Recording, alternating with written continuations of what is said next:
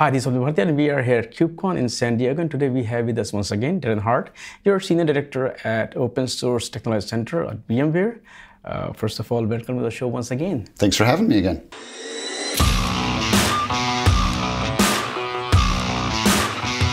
From networking perspective, what, what work is VMware doing, especially from open source perspective? There are so many networking projects in CNCF. My team in particular uh, has been over the last year focused on things like the network service mesh, as well as the higher level service meshes, so um, such as Istio and Envoy.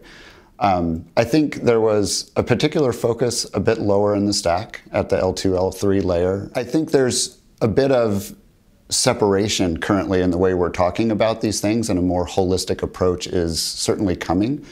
Um, where we have things like network service mesh focused on the L2 and the L3 abstractions, but we also are talking with Istio and Envoy about top of top of that stack L7 work. But you also have things like the the IoT projects out there talking about very similar things to what we're doing in service mesh and there's not really a clear solution towards simplification. There's a lot of complexity right now um, in, in the networking space. Yeah, you mentioned two projects, SDNY, uh, and when you look at uh, CNCF landscape, there are a lot of projects which also overlap mm-hmm. functionality features. At the same time, there are gaps. Mm-hmm. So from networking perspective, what is the situation status right now? So I also mentioned NSM. So Network Service Mesh is yet a third uh, uh, project that's also in, in there with the CNCF. Um, and I think that's where the consolidation story happens. So with each new um, bout of evolution in technology, you see this big chaos stage where there's a lot of redundancy, a lot of overlap.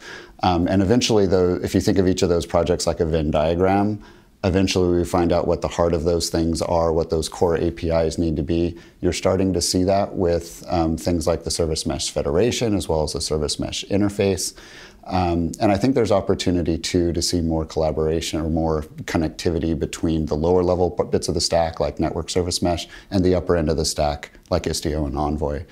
Um, but exactly what that simplification is going to be, I, that's part of why we're here. How would you define service mesh? I think it's actually really difficult to quickly define service mesh. And the, the reason is while it does things like allow you to um, programmatically define load balancing um, and to decouple your application from services, it also provides a lot of opportunity to address security issues well beyond what you can do just with TLS, but in terms of what you expose, how things are connected, and which policies you uh, enforce for your for your application.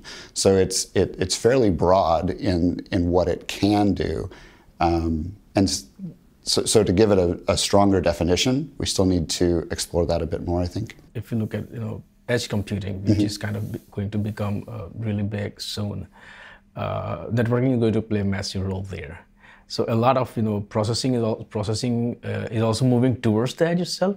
So what are the unique challenges it poses for networking itself, and what is the cloud native community doing in that space? One of the key differences with edge uh, is the, the need for low latency and the number of devices that are being connected. And so there's increasingly a number of discussions here at KubeCon about that. And that's where you have things that start to look a lot like a service mesh. Um, but one of the challenges with things like NSM and, and, and service mesh is they add to overhead. So they add to latency, they add to processing time, they add to footprint uh, and just a number of things that you do need to manage. So, so that does present a challenge out at the at, out at the edge as well. Kubernetes is really hard to kind of you know uh, it's easy to deploy, but hard. There are so many knobs. It's it's very complicated, you know, piece of technology there. With, with this complexity, how, what impact it makes on the security because there are so many knobs, so many configurations there. I think Ian gave a fantastic keynote this morning um, where they talked about specifically how um, Kubernetes is not now um, secure by default, secure out of the box. As you say, there's a lot of, of components there. And you'll see a lot of the cloud providers trying to do things uh, around security and confidentiality, uh, privacy. Um, and, and that's all good because we need to be able to provide a good platform for developers to create good solutions that they can ensure are secure um, and provide the confidentiality that they need. But I think we also run the risk of making the taking the step that we made from a very proprietary environment to the much more uh, to the APIs and such that Kubernetes provides that are common. And then we're starting to turn back around and starting to see some of those proprietary solutions to the complexity, which takes away a little bit from what we're trying to do. And again, like like before, this is part of that evolution of technology, right? We get all open, and then everyone tries to find a way to make that specific to their um, their cloud, their data center, their their solution, their management tools, whatever it happens to be.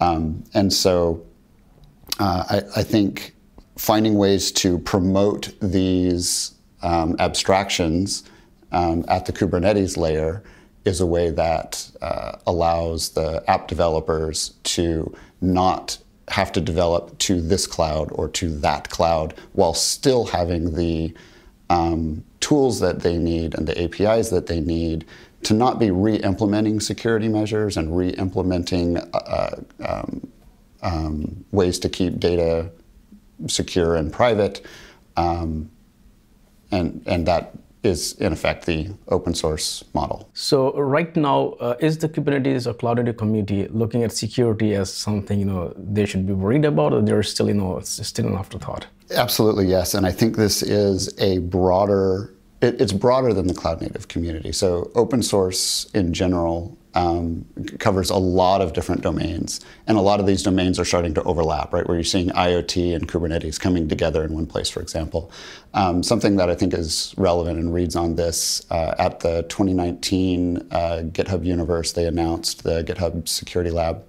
Um, as a, a, commitment from various companies to collaborate together to improve the state of open source um, across the board and and each company comes and they have some some intent and some direction that they're looking to do. VMware joined as a founding member. Um, and uh, our team's effort here is to look at securing software supply chain with a focus on uh, community repositories, community content repositories. And so this is a way in which um, no one of us could do this in a way that impacted all of the open source ecosystem that we all depend on.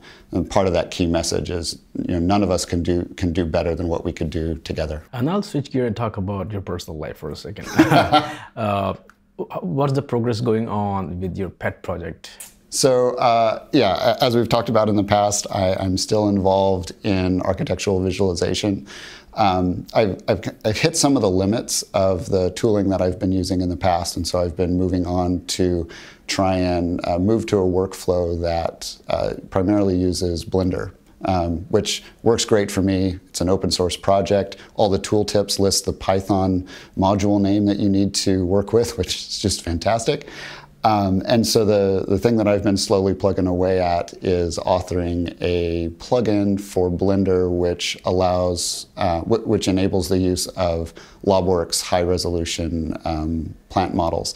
And it's been really fascinating to just dig into something that I've never looked at before and uh, get that just that instant gratification thrill when suddenly a, a, plant shows up and then suddenly the, the leaves are green and then suddenly the textures start to show up. And it, has been a lot of fun to just reach out as uh, as an open source developer to a company and say, "Hey, I'd like to write a plugin for your for your models." And they reach they reach out and say, "Hey, that'd be great. Here's the start of one that we were working on. Do you want to take it over? That'd be wonderful." Um, so that's been a lot of fun. So do you, do you do this work in the free time or the VMware time? That's a really interesting uh, way to say that. So free time, I'm not sure what that is, um, and and you know I don't have a fixed number of hours in the day, so it's all mixed, you know, mixed. Yeah, yeah. So I will say, open source contribution is a key part of what we do um, at VMware, and it's a key part of what my team does. And um, I encourage my team to work on projects that are relevant to VMware but I also encourage my team to work on projects that they're just interested in. So some folks on my team make uh, badges for conferences. Some folks on my team um, write software for uh, 3D visualization. Some people I report to work on diving applications. Um, so it, it's it's a big part of who we are. This is an interest of all of ours. Yeah. Yeah, because someone was smart enough to hand over the diving application to, Yeah. yes. or maybe lazy enough to maintain it. They're not different. I mean, It's the same thing, yeah. if you're lazy, you have to be smart to get it done. Uh, I think we have covered everything. Uh, Darren, thank you so much for once again uh, sitting down with me.